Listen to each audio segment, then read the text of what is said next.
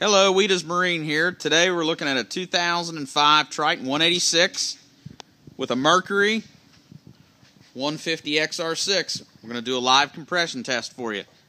Go ahead. Got 140. 140. What you're looking for with any compression test is you're trying to make sure that there's not a large variance between cylinders.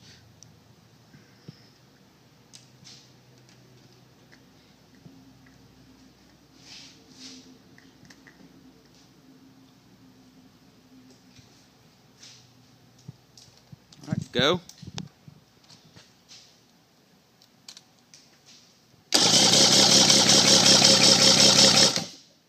One forty again.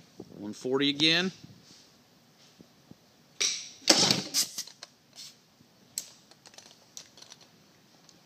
At Wiedas Marine, we inspect all of our trade-ins thoroughly.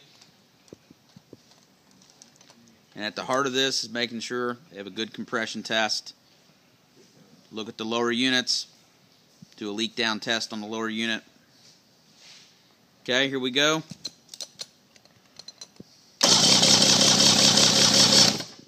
One forty again. 140 again.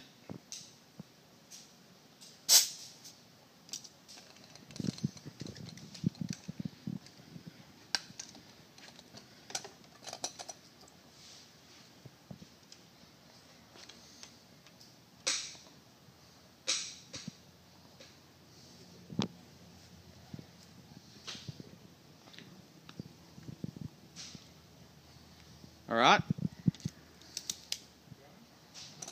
Go ahead and go. One thirty five.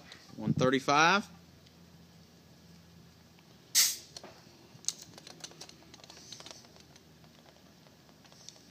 Typically, you're looking to make sure that you don't have a variance of more of 10 to 15 pounds. That's when you know you've got an engine that's got some wear and tear on it and potentially may have a problem.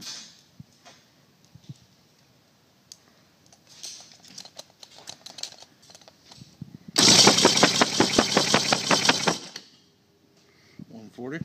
140 again.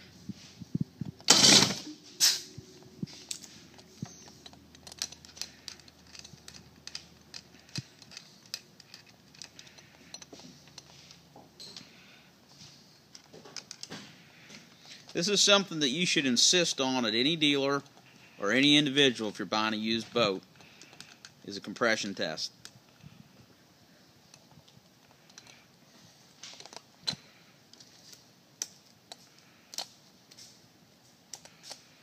Okay?